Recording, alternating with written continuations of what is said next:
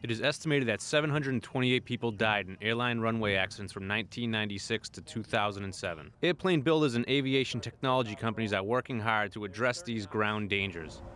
On taxiway. On taxiway. The RAAS system, or Runway Awareness and Advisory System, gives pilots audio cues through their headsets to make sure they are where they are supposed to be when taking off and landing.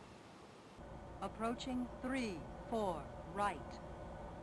The RAAS system will tell pilots if they are lined up with the correct runway, if they are approaching a landing strip that is too short for their airplane, and will count down the number of feet remaining on the runway when they are landing. Approaching one, six, left.